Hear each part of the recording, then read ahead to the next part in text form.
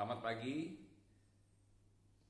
Kita akan mendengarkan sapaan Sabda Tuhan di pagi hari ini, hari Senin tanggal 23 November 2020. Sebelum kita membaca dan mendengarkan Sabda Tuhan, mari kita bersama bersatu di dalam doa. Kita berdoa, ya Tuhan, kami bersyukur karena Tuhan boleh menyertai kami memasuki hari yang baru. Di pekan ini kami mengucap syukur bahwa Tuhan masih menganugerahkan kesehatan dan juga umur panjang serta keselamatan. Kami bersyukur Tuhan untuk kebaikan yang Tuhan berikan kepada kami, rahmatmu, kasih setiamu yang nyata kami rasakan. Kami hendak saat ini duduk sejenak di sekitar firmanmu, bimbinglah kami dengan roh kudus untuk kami dapat mengerti, memahami firman dan kehendakmu dalam kehidupan sehari-hari. Kiranya kami dimampukan untuk menjadi pelaku firman Tuhan. Inilah kami anak-anakmu Tuhan, bersabdalah kepada kami, kami telah setia untuk mendengarkan firman-Mu. Amin. Bacaan Alkitab terambil dari 2 Korintus pasal 4 ayat 1 sampai 5. Yang mengatakan, oleh kemurahan Allah kami telah menerima pelayanan ini karena itu kami tidak tawar hati, tetapi kami menolak segala perbuatan tersembunyi yang memalukan. Kami tidak berlaku licik dan tidak memalsukan firman Allah.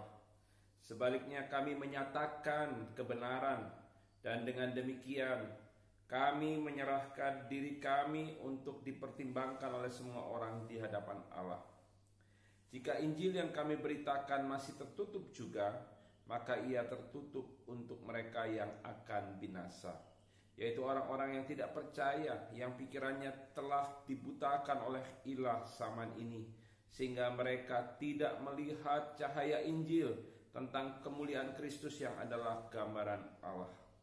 Sebab bukan diri kami yang kami beritakan, tetapi Yesus Kristus sebagai Tuhan dan diri kami sebagai hambamu karena kehendak Yesus. Yang berbahagia adalah mereka yang mendengarkan firman Tuhan serta melakukannya dalam kehidupan sehari-hari. Terpujilah Tuhan Yesus. Saudara-saudara yang dikasih oleh Tuhan, Jemaat Korintus adalah jemaat yang didirikan oleh Rasul Paulus. Rasul Paulus dan jemaat Korintus memiliki hubungan yang baik. Mereka sangat dekat dan mereka saling mengasihi. Namun kalau kita membaca surat 2 Korintus, maka kita melihat bahwa ada gangguan dalam relasi di antara Rasul Paulus dan jemaat Korintus. Sepertinya ada gesekan yang terjadi antara Paulus dan jemaat di Korintus. Dan memang kalau kita membaca surat 2 Korintus ini, surat ini adalah surat pembelaan diri Rasul Paulus dan juga surat ini merupakan surat yang bersifat rekonsiliasi Paulus berusaha memperbaiki hubungannya yang terganggu dengan jemaat Korintus. Apa yang sebenarnya terjadi sampai akhirnya hubungan Rasul Paulus dan jemaat Korintus mengalami gangguan, gesekan. Yang terjadi adalah karena ada guru-guru palsu dan para penyesat yang berusaha mengaburkan berita Injil. Mereka menyatakan bahwa keselamatan bukan semata-mata diperoleh dalam iman kepada Yesus Kristus, tetapi juga dengan hidup berdasarkan hukum-hukum manusia, ketetapan-ketetapan manusia, dan juga hikmat manusia. Dan mereka juga para guru palsu dan juga para penyesat ini berusaha mempengaruhi jemaat di Korintus untuk membenci Rasul Paulus. Mereka menebarkan berita-berita palsu bahwa Rasul Paulus bukanlah Rasul Yesus Kristus Rasul Paulus tidak memiliki wibawa rasuli. Dan karena itu kerasulannya harus diragukan. Hal inilah yang disebarkan oleh para penyesat dan guru-guru palsu tersebut. Sehingga jemaat Korintus terpengaruh. Jemaat Korintus yang tadinya menerima Rasul Paulus, mengasihi Rasul Paulus, namun akhirnya mereka meragukan Rasul Paulus. Bahkan mereka membenci Rasul Paulus, menjauhi Rasul Paulus. Dan bahkan mereka membuat Rasul Paulus mengalami pergumulan dalam pelayanannya. Namun demikian, kalau kita membaca 2 Korintus pasal 4 ayat 1 sampai 5. Rasul Paulus sama sekali tidak tawar hati. Walaupun ia mengalami fitnah, dia dijelek-jelekkan, dia dianggap sebagai Rasul Yesus Kristus yang tidak sah. Tetapi Rasul Paulus tidak tawar hati. Ia tetap terus mau memberitakan Injil Kristus karena Injil yang diberitakan semata-mata untuk menyatakan kebenaran kebenaran tentang keselamatan di dalam dan melalui Yesus Kristus yang dianugerahkan Allah.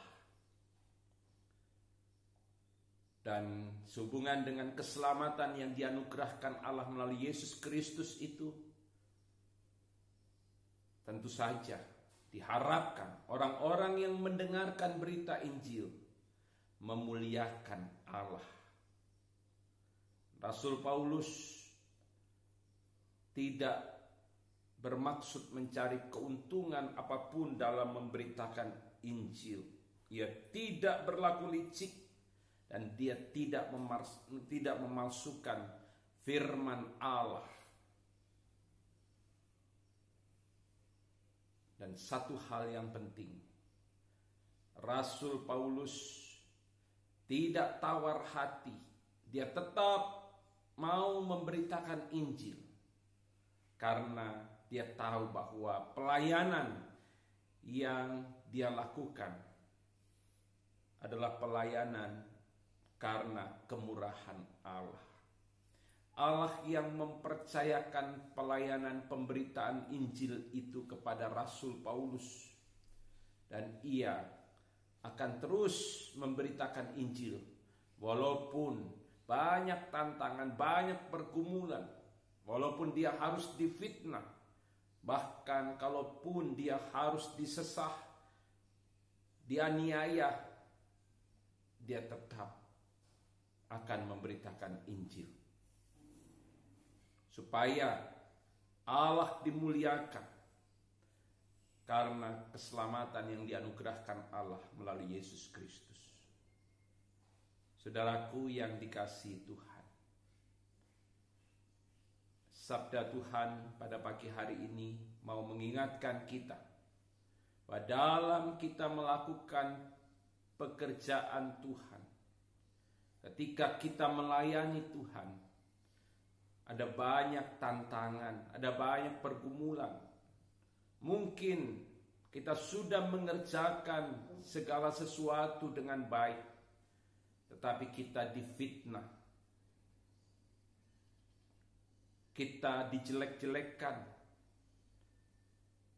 dan juga mungkin kita dicemooh, dihina. Dan ketika kita mengalami hal-hal seperti itu, kita tidak perlu sakit hati, tawar hati apalagi patah hati. Tidak perlu kita berpikir untuk mundur dari pelayanan Tuhan ataupun kita mengundurkan diri dari pekerjaan-pekerjaan yang kita lakukan untuk kemuliaan Tuhan.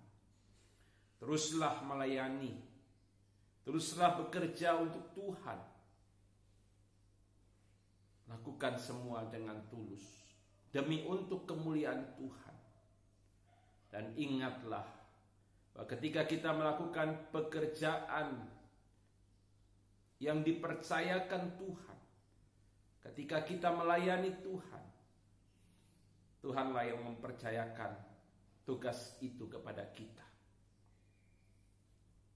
Dia yang mempercayakan tugas itu, dia juga yang akan menguatkan kita. Tetap melayani Tuhan. Biarlah kiranya kabar baik, kabar sukacita, Injil Yesus Kristus itu terus kita beritakan. Sehingga orang tahu bahwa Yesus adalah Tuhan dan juru selamat. Dan banyak orang akhirnya memuliakan Allah yang telah datang di dalam dan melalui Yesus Kristus. Amin. Mari kita berdoa. Terima kasih Tuhan, kami sudah mendengarkan firman-Mu. Kami mohon Tuhan, Engkau kuatkan kami untuk menjadi pelaku firman. Seperti Rasul Paulus ada banyak tantangan, pergumulan yang kami harus hadapi ketika kami melayani Tuhan. Ketika kami mengerjakan pekerjaan yang Tuhan percayakan kepada kami.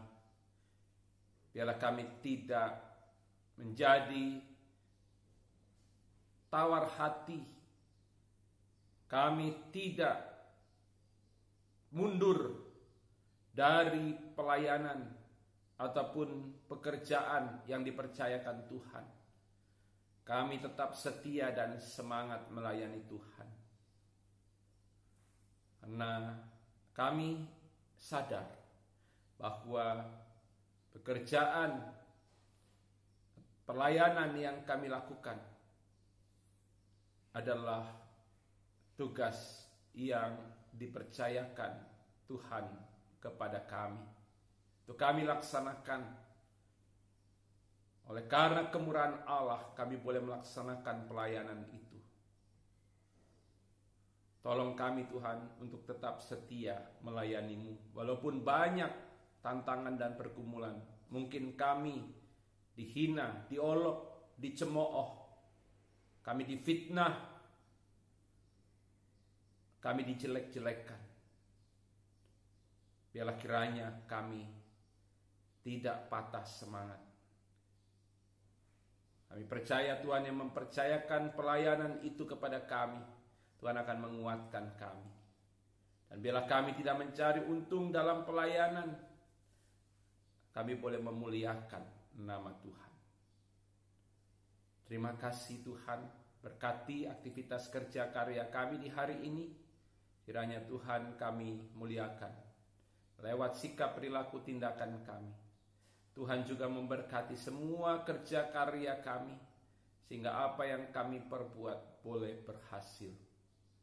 Tuhan, kami juga berdoa bagi seluruh warga jemaatmu, warga jemaat GPB Betania Makassar maupun juga jemaat-jemaat lainnya yang mendengarkan sapaan sabda Tuhan di pagi hari ini.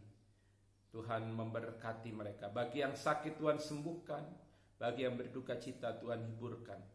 Bagi yang mengalami pergumulan, Tuhan kuatkan iman percaya mereka.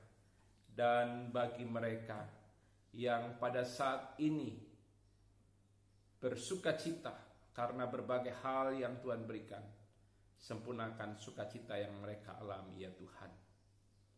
Terima kasih Tuhan, kami serahkan seluruh hidup kami dalam tangan-Mu. Berkati juga para janda, duda, anak-anak yatim piatu. Mereka yang memasuki masa usia lanjut, masa pensiun.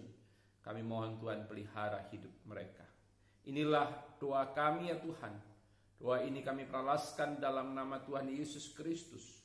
Tuhan dan Juru Selamat kami yang hidup. Amin. Selamat pagi, Tuhan Yesus memberkati.